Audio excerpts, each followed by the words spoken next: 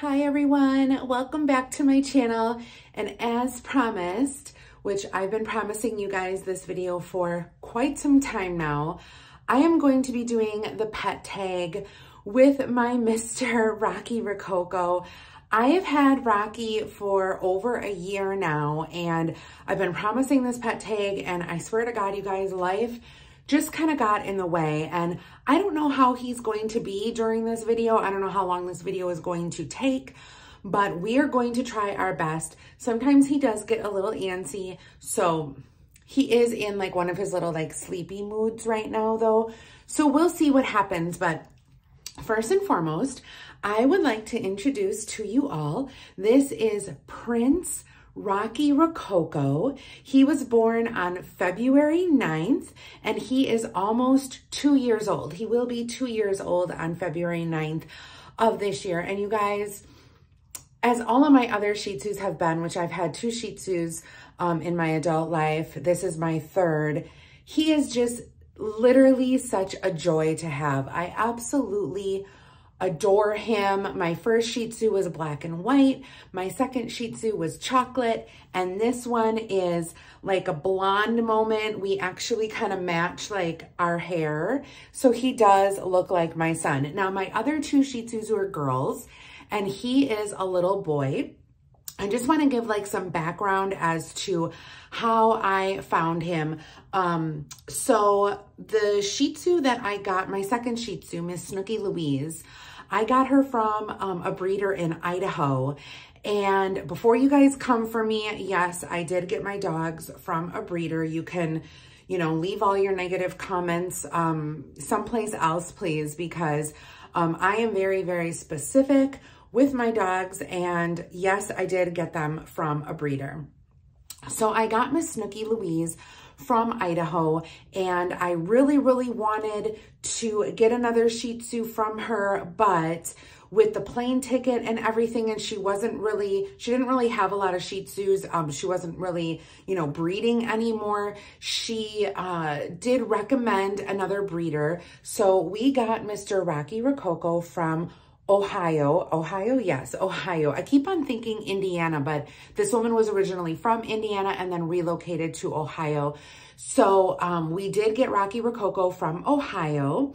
And my daughter actually drove with her friend to Ohio to pick him up because I didn't really want the plane experience anymore. We did that with Snooky Louise and we were really, really lucky that things went well in that area. But I was just super scared with being, you know, really tiny dogs. It just makes me really, really nervous. So she went to go pick him up. And if you guys know the Jersey Shih Tzus, they're infamous. They have uh, tons of followers on Instagram and um, she has long red hair, the, the lady who owns all the Jersey Shih Tzus.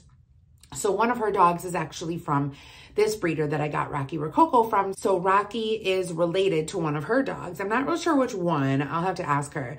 But so I knew of the breeder. I knew people who knew her and I definitely trusted this breeder. So we picked up Rocky and we, I, I was, I was skeptical a little bit about getting a boy dog because I had a boy Shih Tzu long, long time ago when I was growing up. And I don't really quite remember, um, you know, like how training went with him or whatever. But this one was definitely different than the girls for training. So he took a longer time to house train than my girls did.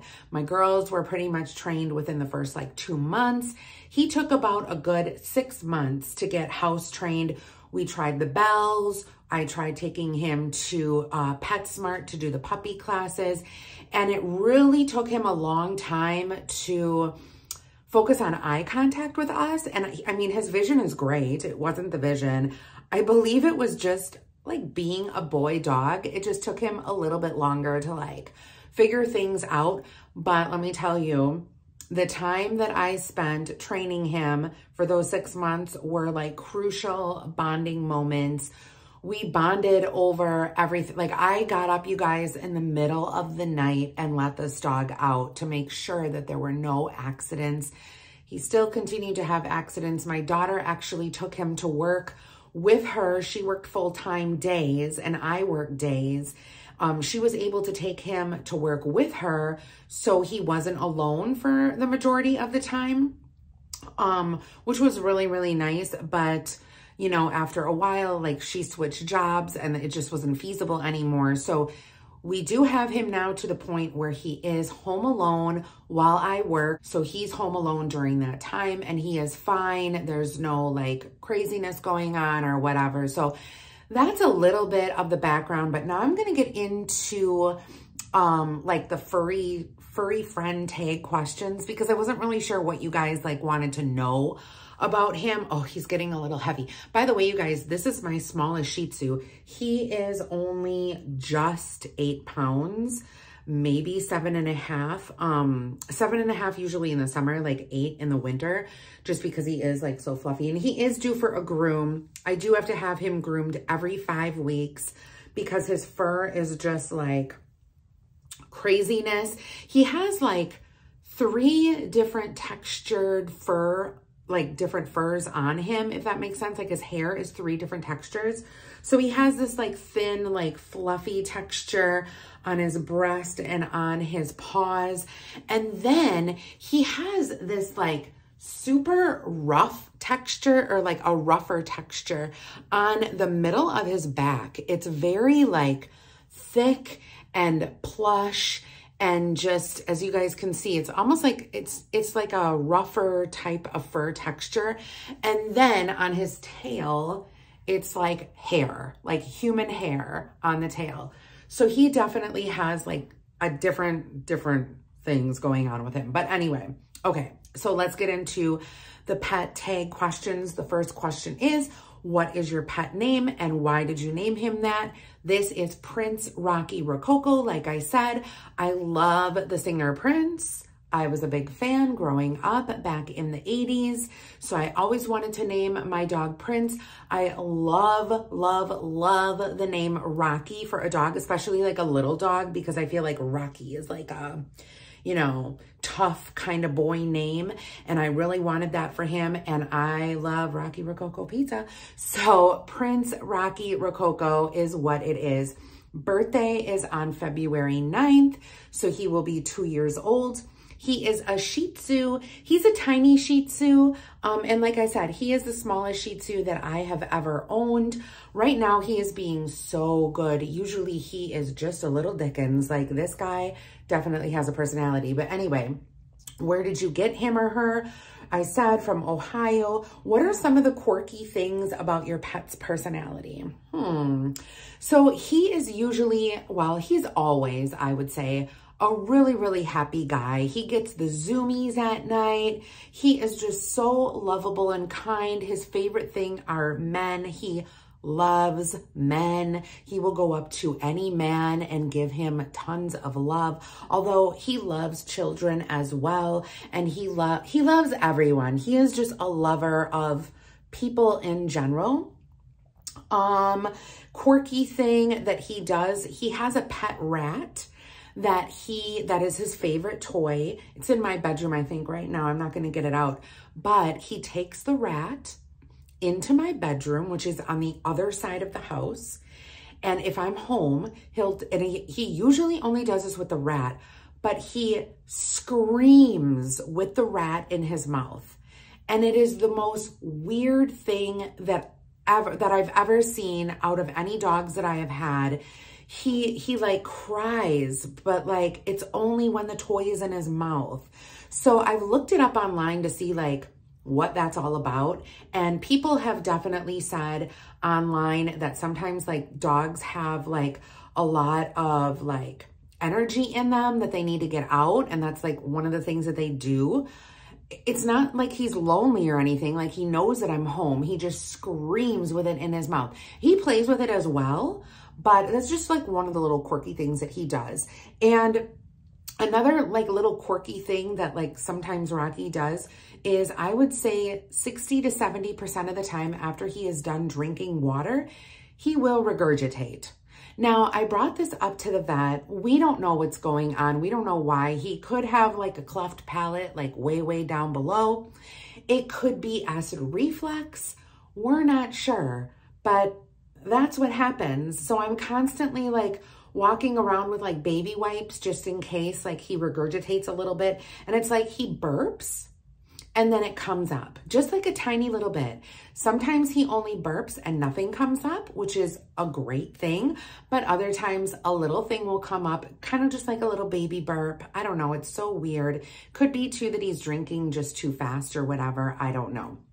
Um, the next question, what does your relationship with your pet mean to you? This little guy means everything to me. Look at him. So usually every time too, like that I hold him like this, like he'll push me away. Like, okay, he's pushing me away. See how he's like pushing a little bit? Like I go in and then he, he yeah, he doesn't like that. He doesn't like, but anyway, I love him, you guys. It gives me a reason to wake up in the morning. I take care of him. I love him. He is like my everything. My dogs, if you guys know, like, see, look at him push my neck away. Um, my dogs are just like everything to me and I just, I absolutely love him. So for that answer, I put down therapy. Like honestly, like these little Shih Tzus are therapy to me. He's everything. Uh, next question, what are some of the nicknames that you call your pet? So my daughter thought of the nickname Bean because he does look like a little like bean. I don't know. His face looks like a little bean, but we call him Bean. I call him Mr. I'm like, come here, Mr. Um, and he answers to that. And then we just always call him the baby. Like whenever I refer to him to anyone, I always say, oh, the baby. Like, you know, the baby didn't go outside today or, oh, the baby got a little sick today. The baby needs to eat today. He is just the baby. Um, anyway, number seven, let's see here. How long have you had your pet? I got him on June 11th of 2022. So I did get him when he was four months old, a little bit older um, than what I had gotten my other previous Shih Tzus, but that's okay. So he was four months. And you guys, he was definitely a whim, a whim baby. I was scrolling through Facebook one day and I had already followed his breeder on Facebook and I saw him and I said to my daughter, look at this Shih Tzu. And she's like, I'm getting him. I'm driving with my friend and I'm getting him. And they got him. And that's how I got him. It, it was just the craziest thing. But I do feel like sometimes like it's just meant to be. You know what I mean? It was meant to be for sure. Um, does your pet know any tricks? He can sit for a few seconds and that's about it.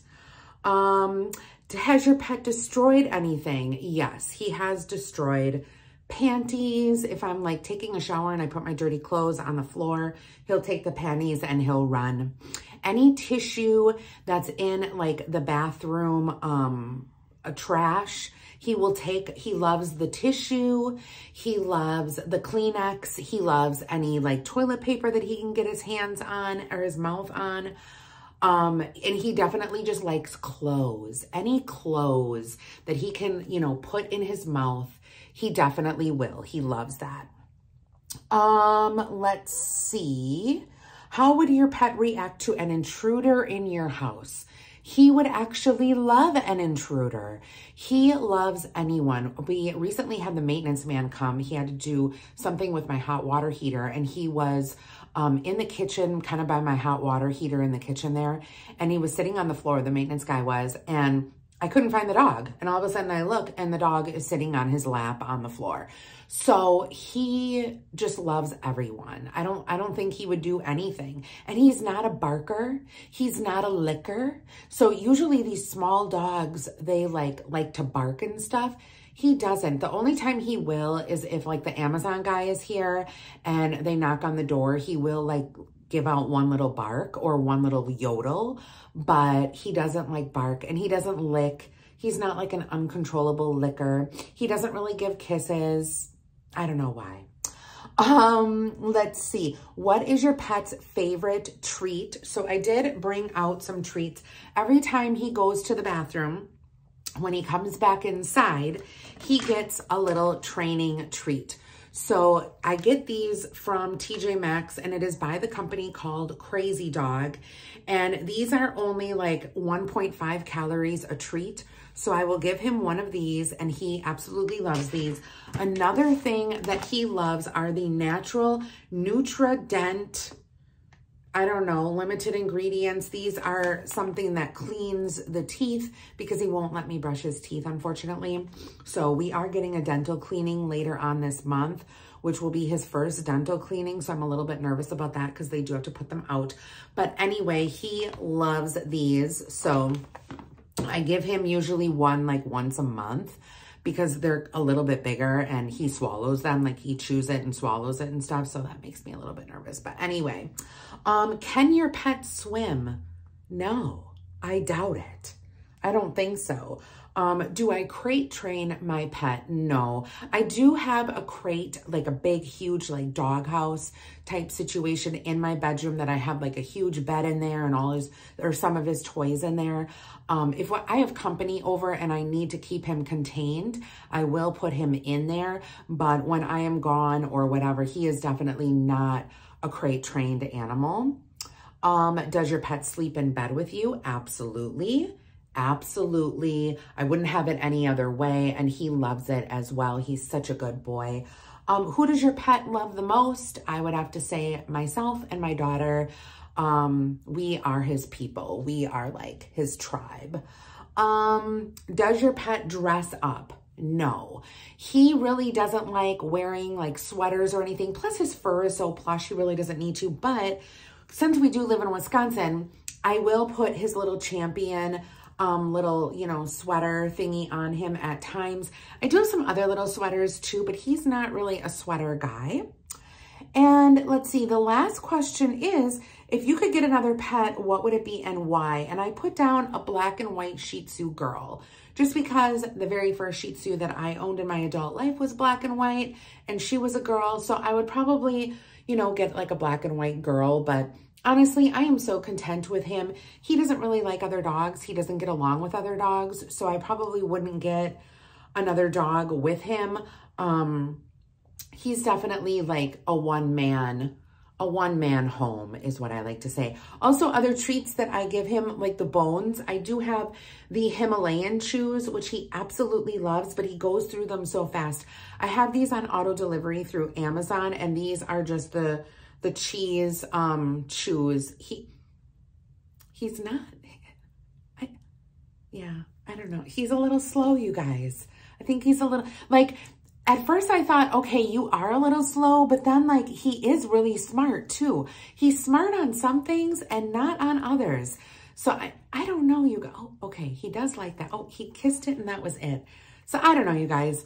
Um, I hope you guys enjoyed this pet tag. I'm sure there are other questions. If you guys want to know other questions that maybe we can do like a part two, leave them down below. But thank you guys so much for watching my Rocky Rococo pet tag. I hope you guys all have a great day and we will see you all later. Say bye, Rocky.